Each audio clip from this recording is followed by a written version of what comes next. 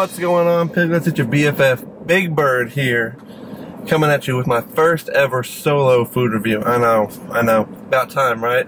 There's no Kollin here, y'all. There's there's no Kollin. It's just me today. Wearing my Ranger shirt. We went and saw a game last night when they beat the Royals with a walk-off home run by Mitch Moreland, and that thing was literally. I'll have call like maybe post a picture like somewhere steamy, like I'm like blurry kind of, but uh, we were literally 20 feet from the walk-off home run. It was freaking awesome, man. I loved it. I'm here at Jack and Box here in Dallas, and I've never been to Jack and Box. So I got the Brewhouse Bacon Combo. It's their special, so I was like, well, might as well get the newest best thing, right? Let's see what we got here.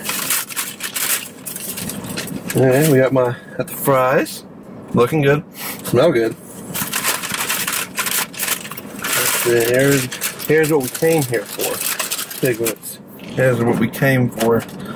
Let's see. I asked no tomatoes, obviously. Because I mean tomatoes are nasty.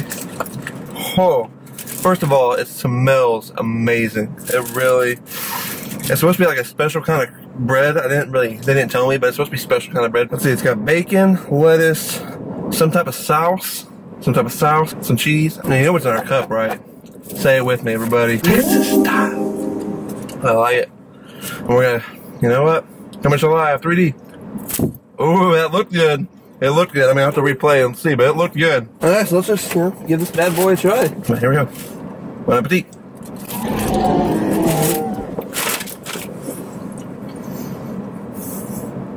They didn't give me any napkins, which I'm kind of sad about. So I'll end up using the receipt probably. As bad as that looks. It's really good. The uh, bacon is so crispy. I mean, the flavor just kind of pops, and whatever the sauce is, it kind of has a hint of Big Mac sauce, a little bit. And this bread, it has the taste of an Arby's bread. If y'all ever had Arby's at all, which I, I mean, I assume y'all have. If you haven't, well, go try it. Oh, bacon fell out. That's that's how I like it. There's the bacon if you want to see the bacon. It's kind of that flimsy microwave bacon, but I mean, it still tastes good. I'm getting sauce on my shorts, everybody. Maybe there's a reason. Maybe this box, because I'm getting sauce everywhere. They don't get around with sauce, man. They go hard up here in Dallas. The tea, I can't, it's just, I mean, it's just tea. They look like McDonald's fries. We're about to find out what they taste like. And they taste like, they're literally McDonald's fries. In my personal opinion, they're McDonald's fries. For the small combo, was $6.99. I went ahead and got the medium, just, you know, more Texas tea, bro. And it came out $7.58. That's how much it was. Eh, that's not a bad price. I mean, you go to Wendy's or somewhere else, it's gonna, it's gonna be about that's that price for a bacon burger. I mean, you can really taste the meat. Pros and cons. Pro, amazing flavor. It's, it really is. I mean, that tastes so good. It really does. It's probably one of the better fast food burgers I've had in a while. Price, price wasn't bad. I mean, seven dollars for a regular small combo for a bacon burger, especially, is not bad. That's fries and drink. I mean, that's not bad. You go to Wendy's, like I said, you get a Baconator, just a regular medium combo. I think one of you almost nine dollars. Definitely some savings there. Unique flavor. I mean, the bacon, like it, lo it looks crispy. It tastes pop. That sauce is amazing. Cons, it was $6.99 for a small and not a medium. I went ahead and got the medium for the 750, which isn't that bad. I mean, that's only like that's only 50 cents more for a medium. I assume it's only gonna be available limited time because it, it was a little special, a little billboard for it. Also, availability. The closest one we have is Lubbock. I'm in Dallas, but for a Ranger game, obviously, but availability is kind of a con. And also, the sauce is a little familiar. It kind of, little taste of mac sauce in there, and the fries are very McDonald-esque, if you know what I mean. They're very much, very similar. I'm gonna give this a 10 out of 10. This is getting a Big Bird's kick-ass seal of approval. Boom.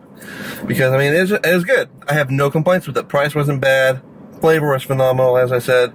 So, I mean, that's about it. I mean, so, until next time, hopefully Kollin keeps you around to do another solo food review. This has been your boy Big Bird coming at you with a food review.